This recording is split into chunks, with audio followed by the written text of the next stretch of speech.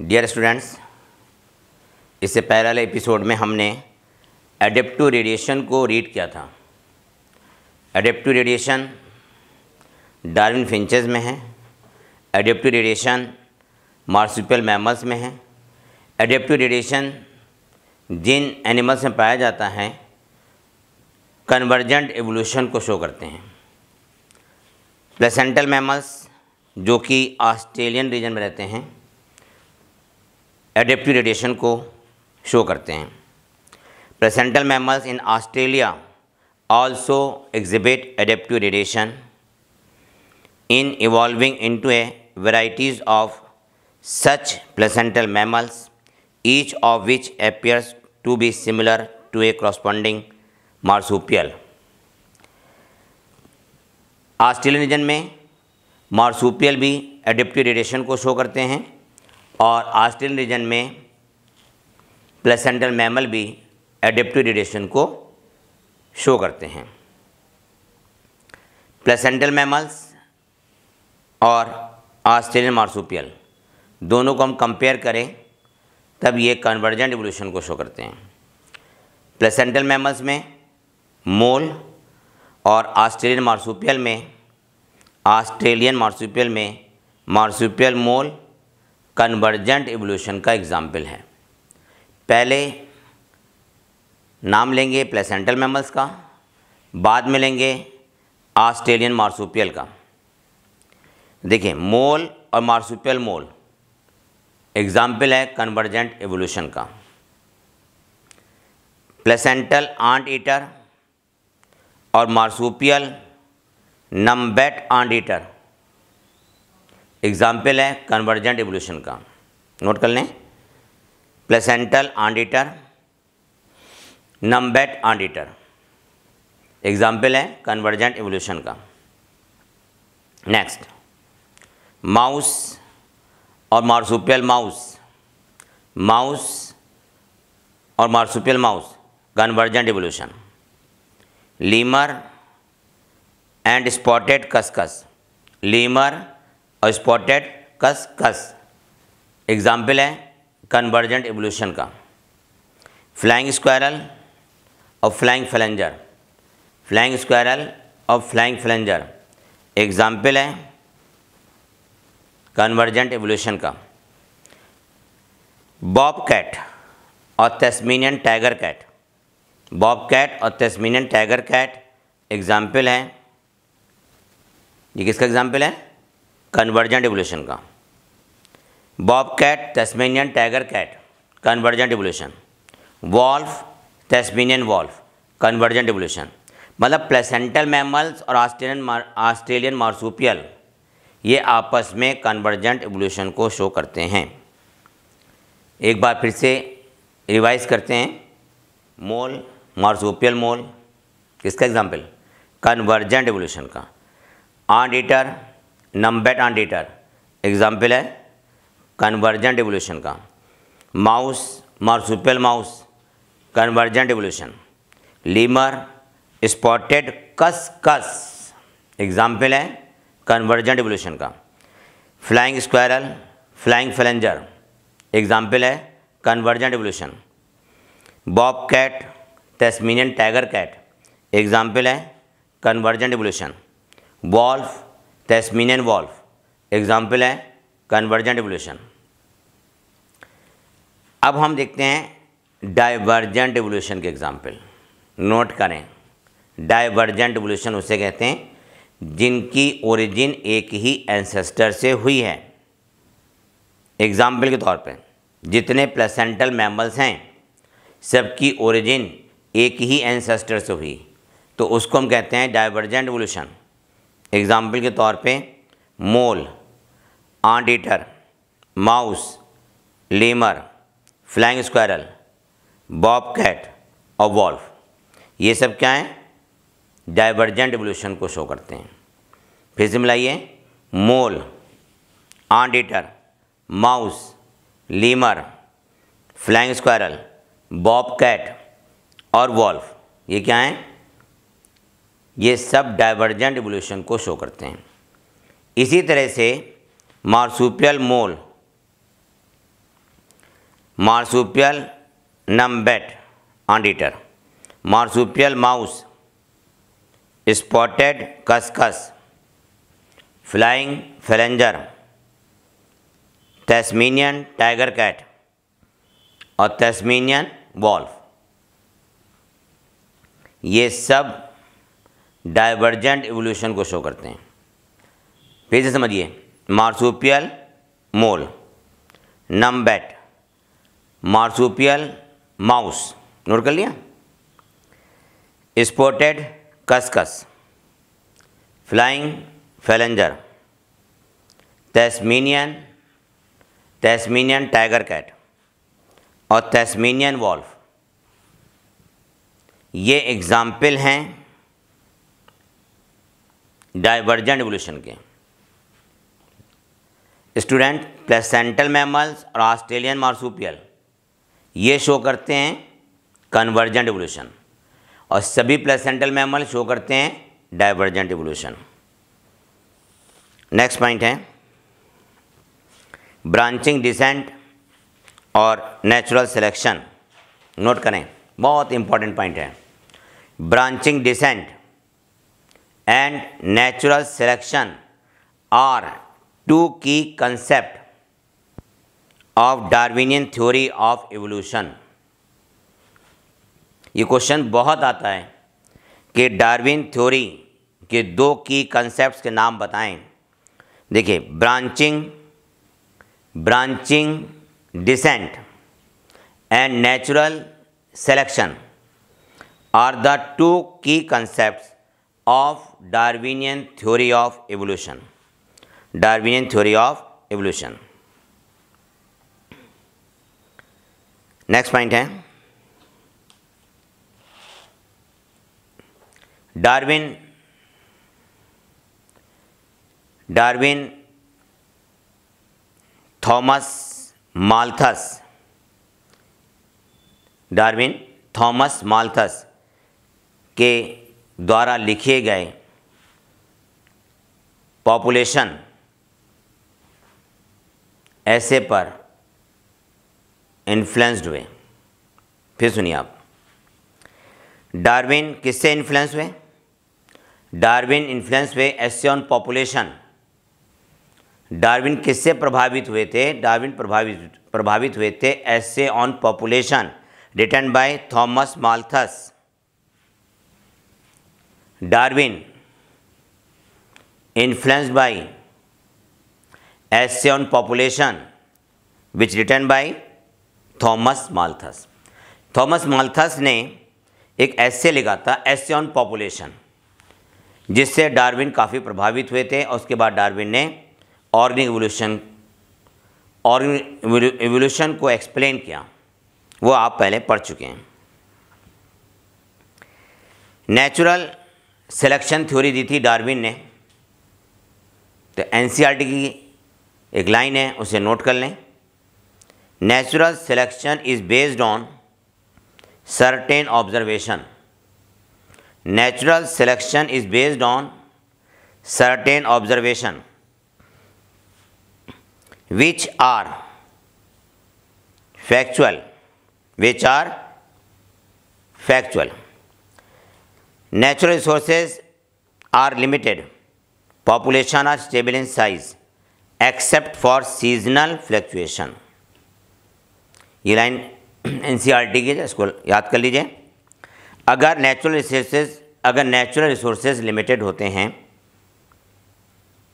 अगर natural resources limited हैं, तब पॉपुलेशन का साइज़ स्टेबल रहता है सेफ़ पॉपुलेशन साइज़ उस समय चेंज हो सकता है, जब सीजनल वेरिएशन होते हैं या सीजनल फ्लक्चुएशन होता है। नोट कर लिया आपने? नेक्स्ट पॉइंट क्या मैकेनिज्म ऑफ़ एवोल्यूशन पर आ जाइए। Mechanism of evolution Hugo de Vries Hugo de Vries ने म्यूटेशन टर्म दिया था। ह्यूगोडी ब्रिज ने म्यूटेशन टर्म दिया था। ह्यूगोडी ब्रिज ने म्यूटेशन से रिलेटेड जो वर्क किया था, ओनोथीरा लेमार्कियना पर। Vries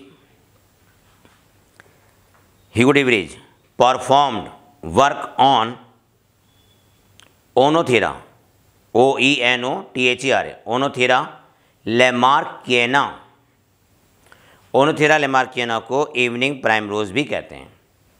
ओनोथेरा लेमार्कियना को इवनिंग प्राइम रोज भी कहते हैं। इन्होंने इवनिंग प्राइम रोज की सात वैरायटी डेवलप की थी, जिसमें से चार हार्मफुल थी। कितनी वैरायटीज डेवलप की थी? सेवन इस सेवन में से चार कैसी थी? हार्मफुल थी। ह्यूगो डिवरीज ने नाम दिया था म्यूटेशन का। ह्यूगो डिवरीज ने नाम दिया था म्यूटेशन का। ह्यूगो डिवरीज के अकॉर्डिंग क्या है? म्यूटेशन आर द म्यूटेशन किसे कहते हैं? Mutation are sudden large scale heritable changes mutations are suddenly sudden heritable large scale changes mutation अचानक होते हैं। मतलब सडन लार्ज स्केल वेरिएशन है या चेंजेस हैं। म्यूटेशन डायरेक्शन लेस होता है। म्यूटेशन डायरेक्शन लेस होता है। म्यूटेशन ज़्यादातर हार्मफुल होते हैं। म्यूटेशन मोस्टली हार्मफुल होते हैं। म्यूटेशन लाइफ की किसी भी स्टेज में हो सकता है। म्यूटेशन सभी ऑर्गन्स में होते हैं। म्यूटेशन के द्वारा एक ही स्पीशीज़ से कई स्पीशीज़ डेवलप हो सकती हैं। म्यूटेशन के द्वारा एक ही स्पीशीज़ से कई स्पीशीज़ डेवलप हो सकती हैं। मतलब म्यूटेशन, डाइवर्जेंट एवोल्यूशन को, म्यूटेशन, डाइवर्जेंट एवोल्यूशन के फेवर में है। म्यूटेशन रैंडम होते हैं। म्यूटेशन रैंडम होते हैं।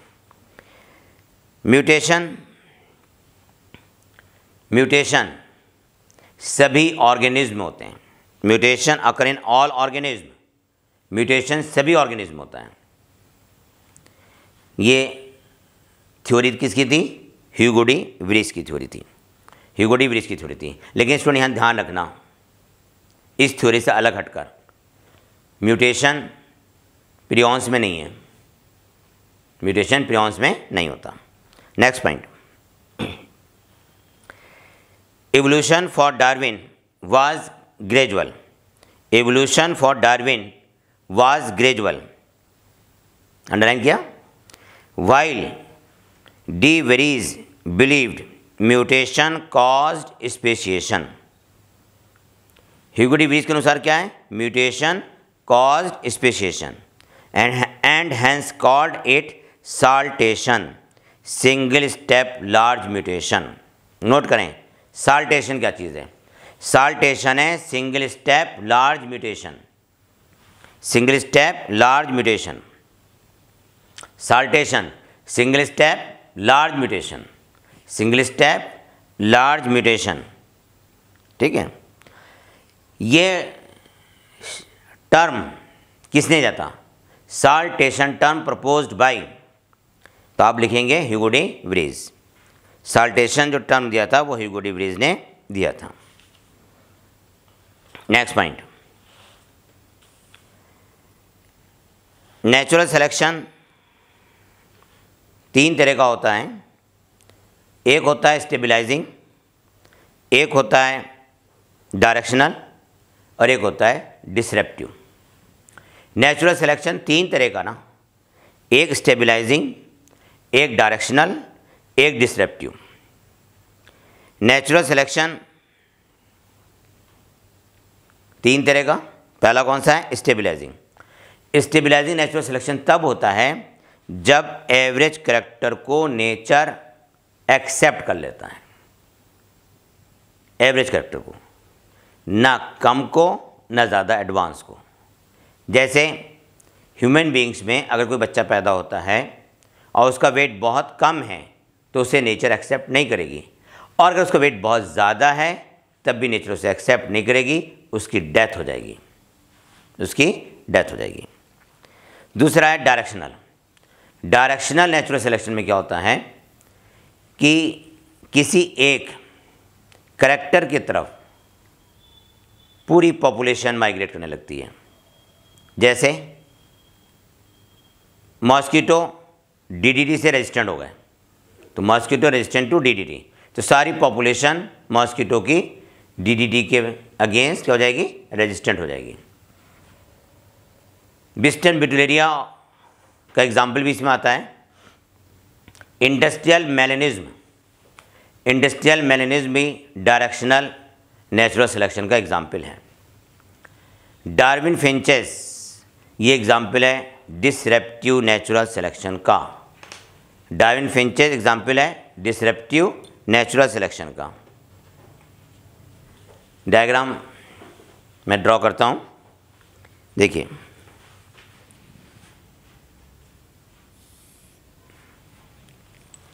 इसमें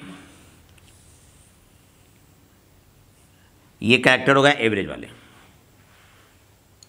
और ये कैरेक्टर पेरिफेरल ये कैरेक्टर पेरिफेरल है। ये दोनों तरफ़ के फिनोटाइप पेरिफेरल कैरेक्टर को शो कर रहे हैं। और ये कैरेक्टर शो कर रहा है एवरेज कैरेक्टर को। तो अगर मान लीजिए नेचर ने एवरेज करेक्टर को सेलेक्ट किया एवरेज करेक्टर को सेलेक्ट किया, और जो पेरिफेरल थे वो सेलेक्ट नहीं हुए, ये दोनों पेरिफेरल वाले सेलेक्ट नहीं हुए एवरेज करेक्टर सेलेक्ट हुआ तो इसे कहते हैं स्टेबिलाइजिंग नेचुरल सिलेक्शन ये कहलाएगा स्टेबिलाइजिंग नेचुरल सिलेक्शन एग्ज़ाम्पल है, मैंने बताया था कि ह्यूमन बींग में अगर चाइल्ड पैदा होता है और उसका वेट बहुत कम होता है तो उसकी डेथ हो जाएगी, बहुत ज़्यादा होता है तो उसकी डेथ हो जाएगी। एवरेज कैरेक्टर में चाइल्ड सर्वाइव करेगा। तो हो गया स्टेबलाइजिंग नेचुरल सिलेक्शन दूसरा देखिए ये पॉपुलेशन है, ये पॉपुलेशन का पेरिफेरल करेक्टर और ये कौन सा है? एवरेज करेक्टर ये एवरेज है, ये पेरिफेरल है। अगर नेचर में किसी एक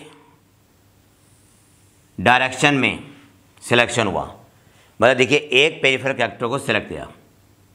जैसे मैंने बताया था कि बिस्टन एक मौत है इंग्लैंड में पाए जाते थे।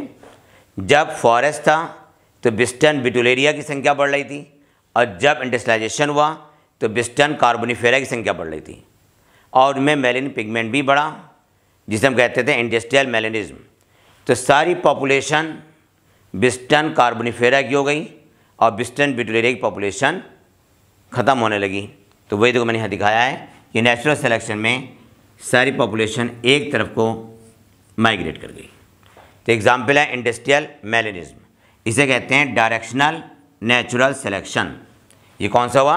Directional natural selection directional natural selection का example industrial melanism insect resistant to DDT ये भी इसी का एग्ज़ाम्पल है. जितने भी रेजिस्टेंट वाले एग्ज़ाम्पल हैं, वो सब इसी में आएँगे डायरेक्शनल नेचुरल सेलेक्शन में. तीसरा देखिए. ये करेक्टर पेरिफेरल ये करेक्टर पेरिफेरल और बीच वाला करेक्टर कौन सा है? एवरेज ये दोनों कौन से हैं? साइड वाले पेरिफेरल ये कौन सा है? एवरेज अगर पॉपुलेशन में पेरिफेरल करेक्टर को एक्सेप्ट किया गया, ठीक है पेरिफेरल करेक्टर एक्सेप्ट किया गया तो उसे कहते हैं डिसरेप्टिव देखिए, यहाँ पे पेरिफेरल करेक्टर एक्सेप्ट किए गए एवरेज करेक्टर को नेचर ने एक्सेप्ट नहीं किया तो ये एग्ज़ाम्पल है डार्विन फिंचेस का.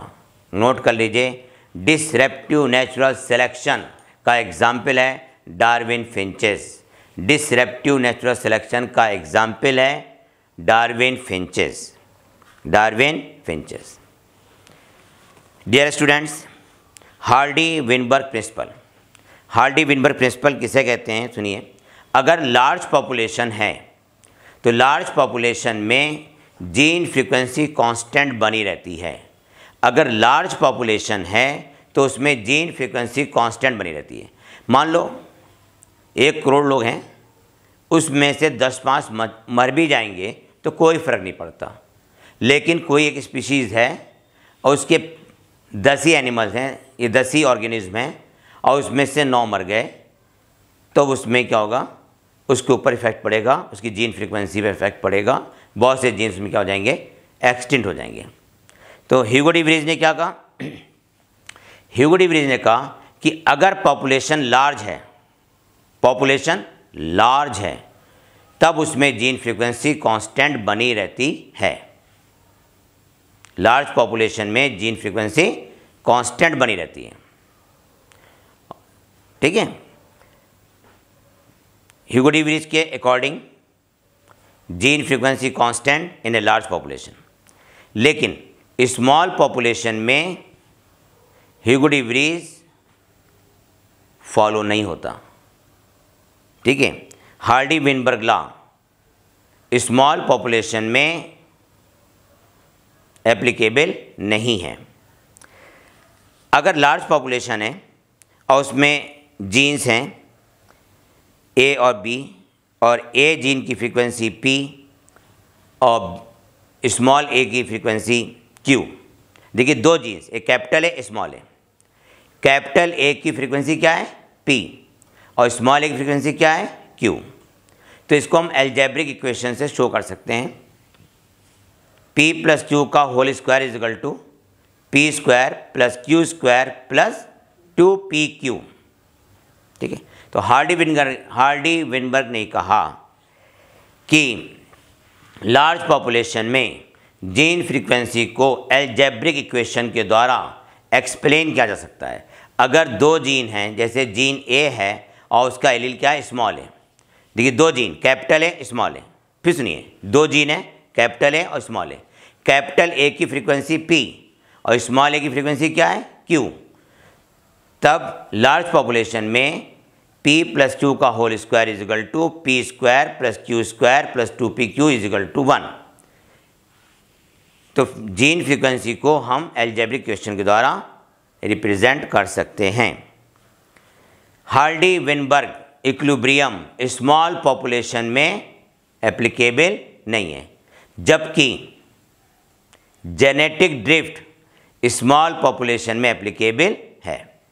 Genetic drift genetic drift means suddenly loss of gene suddenly loss of gene frequency वो कहलाता है जेनेटिक ड्रिफ्ट अगर जीन फ्रीक्वेंसी अचानक चेंज हो जाए, तब उसे कहते हैं जेनेटिक ड्रिफ्ट तो जेनेटिक ड्रिफ्ट स्मॉल पॉपुलेशन में। एक पॉइंट नोट करें students five factor to effect the Hardy Weinberg equilibrium note करें five factor affect the Hardy Weinberg equilibrium वो कौन से पाँच फैक्टर हैं जो हार्डी विनबर इक्विब्रियम को इफ़ेक्ट करते हैं? वो कौन से पाँच फैक्टर हैं जो हार्डी विनबर इक्विब्रियम को इफ़ेक्ट करते हैं? नंबर एक नोट कीजिए। नंबर एक, जीन माइग्रेशन। नोट कर लो। जीन माइग्रेशन और जीन फ्लो। दूसरा, जेनेटिक ड्रिफ्ट। दूसरा क्या है? Genetic drift. तीसरा, जेनेटिक रिकॉम्बिनेशन। तीन जी एम एन, ऐसे याद कर लो। Three G M N. पहला क्या है? Gene migration. जीन माइग्रेशन को जीन फ्लो भी कहते हैं। दूसरा है जेनेटिक ड्रिफ्ट। तीसरा है जेनेटिक रिकॉम्बिनेशन फिर है म्यूटेशन और उसके बाद है नेचुरल सिलेक्शन नेचुरल सिलेक्शन ये पाँच फैक्टर हार्डी विनबर्ग इक्विलिब्रियम को इफ़ेक्ट करते हैं। देखिए लार्ज पॉपुलेशन में भी जीन फ्रिक्वेंसी कुछ कंडीशंस में मेंटेन रहती है। वो कंडीशन आपने भी एक्सप्लेन मैंने करी आपको, वो पाँच फैक्टर्स हैं। जेनेटिक ड्रिफ्ट किसमें होता है? स्मॉल पॉपुलेशन में होता है। जेनेटिक ड्रिफ्ट स्मॉल पॉपुलेशन में होता है। अगर किसी पॉपुलेशन से कुछ स्पीशीज़ या कुछ ऑर्गेनिज्म दूसरी नए एरिया में चले जाते हैं और वहाँ जाके वो नई पॉपुलेशन इस्टेब्लिश करते हैं, तब जो ओल्ड पॉपुलेशन है, उसमें भी जीन फ्रीक्वेंसी में चेंज आ जाएगा और जो नई पॉपुलेशन है, उसमें भी जीन में चेंजेस आएँगे। क्योंकि जब वो नई पॉपुलेशन जब किसी नए इन्वायरमेंट में जाके वो इस्टेब्लिश होते हैं तो वहाँ पे एडेप्टेशन के द्वारा नए करेक्टर डेवलप होते हैं। तो वहाँ पे भी जीन्स चेंज हो गए और जहाँ ओल्ड पॉपुलेशन से जो इंडिविजुअल गए थे तो उनकी जीन वहाँ पे कम हो गए। ठीक है? तो माइग्रेशन पे क्या होता है कि जो ओल्ड पॉपुलेशन है उसमें भी जीन कम होते हैं और जो नई पॉपुलेशन है, उसमें भी जीन चेंज में चेंजेस आते हैं। इसको नोट कर लें। Gene frequency change in the original.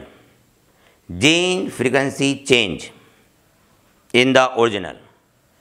as well as as well as in new population gene frequency change in original as well as new population new genes या allele are added to the new population new genes or allele are added to the new population and these are lost from the old population. These are lost from the old population. मैंने ना कि अगर किसी population से कुछ individual migrate कर जाते हैं और वो नए इन्वायरमेंट में जाकर नई पॉपुलेशन बना लेते हैं। तो जो ओल्ड पॉपुलेशन थी, उसमें से भी जीन कम हुए और जो नई पॉपुलेशन बनी, उसमें भी कुछ नए जीन्स आ गए। तो दोनों जगह जीन्स में क्या होंगे? चेंजेस होंगे।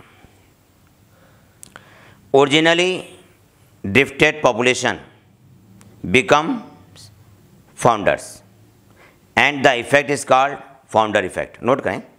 Originally originally drifted population becomes founder. And the effect is called founder effect. And the effect is called founder effect. हाँ स्टूडेंट देखिए. ये मान लीजिए ओल्ड पॉपुलेशन है। ये क्या है? ओल्ड पॉपुलेशन ठीक है? और ये न्यू पॉपुलेशन है.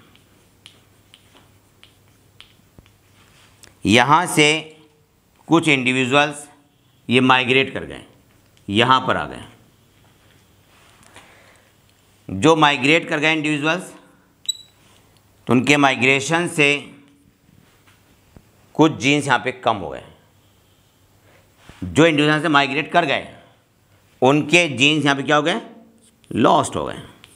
वहाँ पे जीन का कुछ क्या हुआ लॉस हुआ। ठीक है?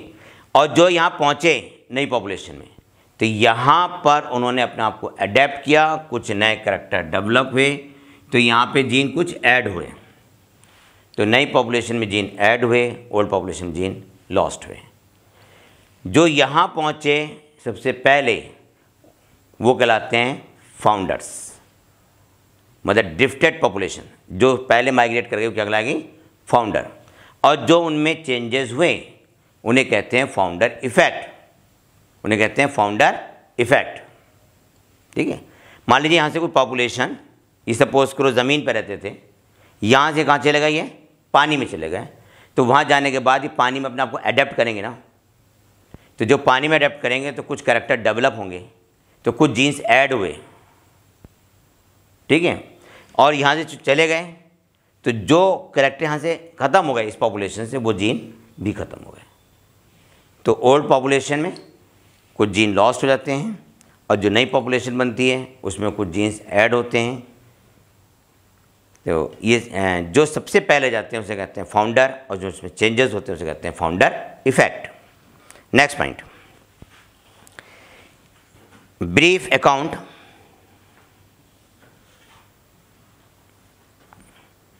एक लाइन सुन लीजिए एनसीईआरटी की natural selection is a process natural selection is a process in which heritable variations heritable variations enabling better survival are enabled to reproduce and leave greater number of progeny. Next point है brief account of evolution students founder याद कर लो founder effect याद कर लो. Hardy बिंगर याद कर लो, और जो नेचुरल सिलेक्शन जो तीन टाइम तीन टाइप मैंने बताए थे ना, उसके एग्ज़ाम्पल याद कर लेना. कौन कौन से थे? लीजिए भूल गया आप. पहला था स्टेब, वो पहला क्या था? स्टेबिलाइजिंग दूसरा डायरेक्शनल तीसरा डिसरेप्टिव यही था ना? और साल्टेशन टर्म किसने दिया था? साल्टेशन किसे कहते हैं? ये याद कर लेना। 2000 अगला पॉइंट है। About 2000 million years ago first cellular form of life appeared on earth note करें, इस ज़मीन पर आज से 2000 मिलियन इस ज़मीन पर आज से 2000 मिलियन साल पहले। First cellular form, first cellular form उत्पन्न हुई। तो about 2000 million years ago first cellular form of life appeared on earth appeared on earth next point note करें। अब देखिए जो मेन मेन पॉइंट है, मैं आपको नोट करा देता हूँ। बस, उसको रट लीजिए। जॉलेस फ़िश, नोट करें। Jawless fish evolve E V O L V D evolve around three hundred fifty million years ago jawless fish evolve around three hundred fifty million years ago आज से 350 मिलियन वर्ष पहले jawless fish की origin हुई। अगला point. लगभग 500 million years ago आज से 500 मिलियन ईयर्स पहले 500 मिलियन ईयर्स एगो 500 मिलियन वर्ष पहले इनवर्टिब्रेट बने, इनवर्टिब्रेट्स की ओरिजिन हुई। नेक्स्ट पॉइंट एक लिविंग फॉसिल है, जिसका नाम है coelacanth living fossil coelacanth C O E L A C N T H living fossil coelacanth आखिरी बार last time caught in South Africa coelacanth को लेटिमेरिया भी कहते हैं। सीलाकेंथ लिविंग फॉसिल है। इसे आखिरी बार साउथ अफ्रीका में 1938 में पकड़ा गया था। फिर सुने सीलाकेंथ का दूसरा नाम क्या है? लेटिमेरिया। तो लेटिमेरिया को आखिरी बार 1938 में साउथ अफ्रीका में पकड़ा गया था। Next point. Seed fern. Seed fern की ओरिजिन हुई थी कार्बोनीफेरस पीरियड में। Seed ferns have been evolve in Carboniferous period, और कार्बोनीफेरस पीरियड आता है पैलियोजोइक इरा में। कार्बोनीफेरस पीरियड आता है पैलियोजोइक इरा में। नोट कर लिया हमने?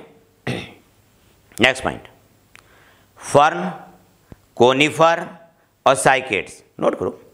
फर्न, कोनिफर और साइकेट्स।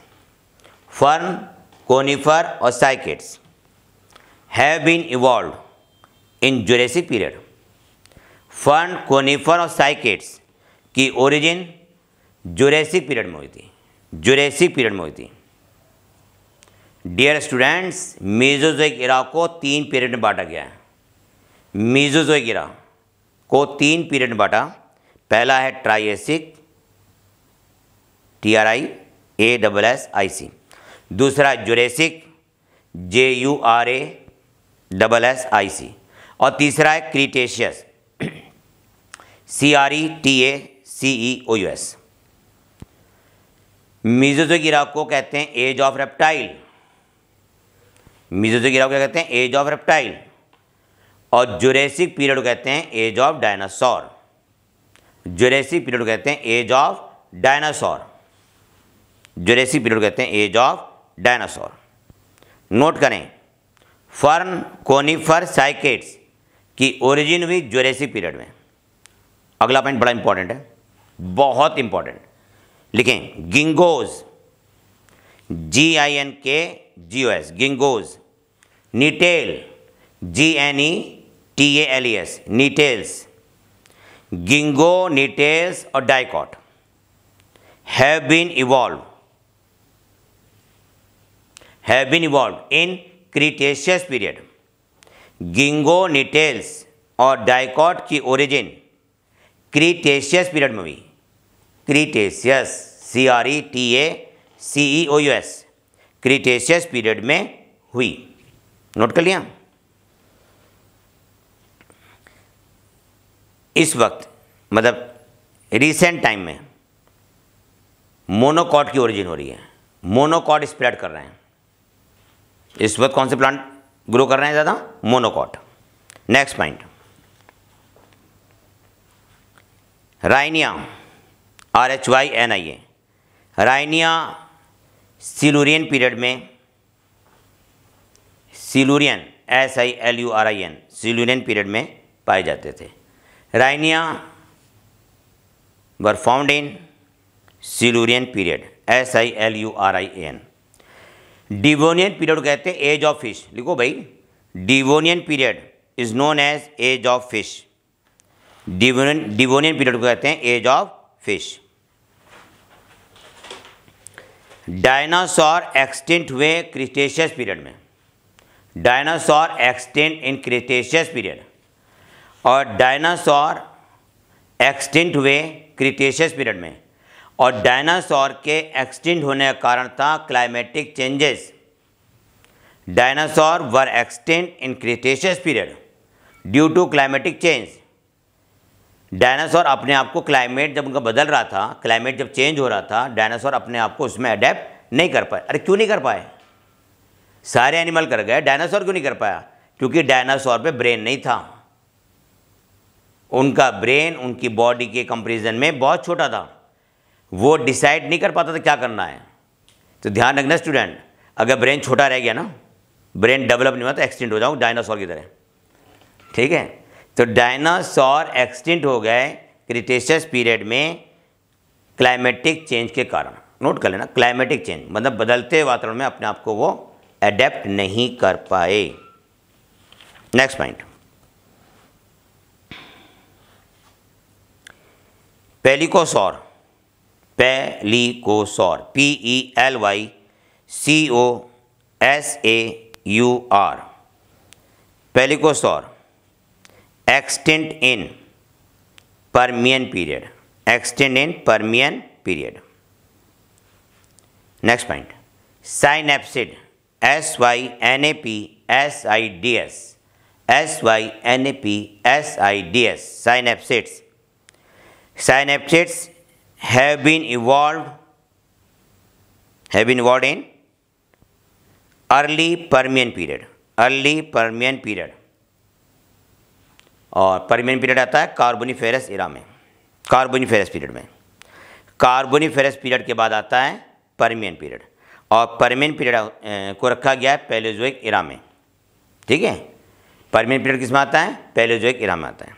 Next point therapsid T H E R A P S I D S the therapsid extinct in Triassic period dry Triassic period Triassic period में.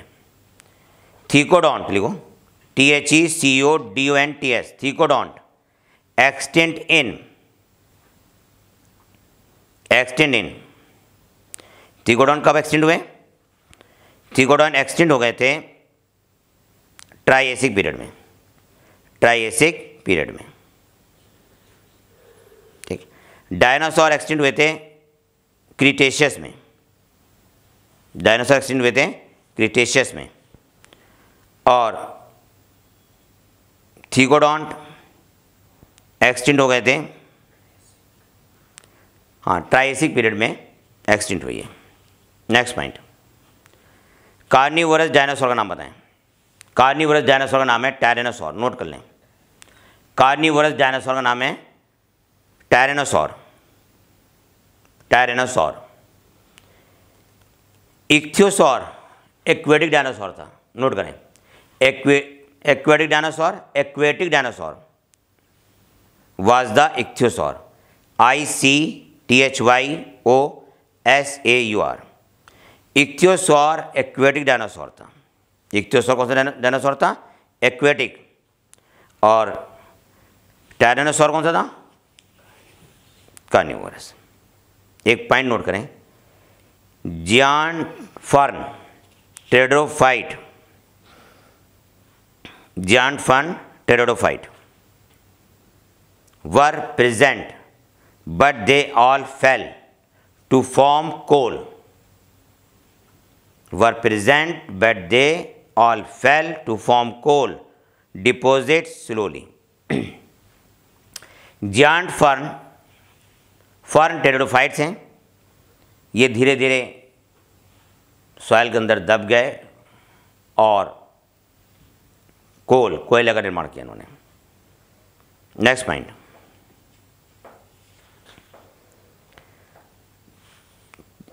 turtle tortoise and crocodile ये आज भी वो reptile हैं जो dinosaur के समय पाए जाते थे, आज भी पाए जाते हैं। नेक्स्ट पॉइंट अगला पॉइंट देखिए। First mammals were shrews like first mammals were shrews like first mammal कैसे थे? श्रूज लाइक थे. S H R E W S next point South American mammals, note करें, South American mammals resembles horse hippopotamus bear, rabbit, etc. South American जो mammals हैं, वो किससे मिलते थे? वो मिलते थे हॉर्स से हिपोपोटमस से, बियर से, रैबिट से। अगली पॉइंट नोट करें। Due to continental drift due to continental drift when South America joined North America. Due to continental drift when South America joined North America, these animals were overridden overridden by North American fauna by North American fauna note कर लिया? एक पॉइंट और note करें कि marsupial केवल Australian region पाए जाते हैं। क्यों? मार्सूपियल ऑस्ट्रेलियन रीजन में इसलिए पाए जाते हैं, उसका कारण है कॉन्टिनेंटल ड्रिफ्ट ऑस्ट्रेलियन रीजन में मार्सूपियल्स के प्रीडेटर नहीं थे, इसलिए वहाँ पे सरवाइव कर गए। और जगह प्रीडेटर थे, वहाँ पे प्रीडेटर इन्हें सरवाइव होने नहीं दिया। तो मार्सूपियल मैमल्स ऑस्ट्रेलियन रीजन में क्यों पाए जाते हैं? Due to continental drift note कर लेना से कॉन्टिनेंटल ड्रिफ्ट के कारण मार्सूपियल मैमल्स केवल ऑस्ट्रेलियन रीजन में पाए जाते हैं और ऑस्ट्रेलियन रीजन में इनके प्रीडेटर नहीं थे, इसलिए यहाँ पे ये सर्वाइव कर गए और जगह इसलिए सर्वाइव नहीं कर पाए क्योंकि वहाँ पर इनके प्रीडेटर्स थे। तो क्वेश्चन अगर ये आता है कि मार्सूपियल मैमल्स ऑस्ट्रेलियन रीजन में क्यों पाए जाते हैं तो आप क्या लिखेंगे? Due to continental drift. Next point.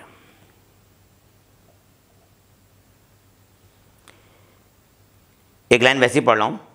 Evolution of horse elephant dog evolution of horse elephant dog are special stories of evolution are special stories of evolution और इनकी एवोल्यूशन की हिस्ट्री को फाइलोजेनी को फॉसिल के बेस बनाया गया है, fossil के बेस पर। अब जो मैं लास्ट लाइन बोलूँगा, उसको अंडरलाइन कीजिए और नीट में देखिएगा, आती है या नहीं आती the most successful story the most successful story is the evolution of man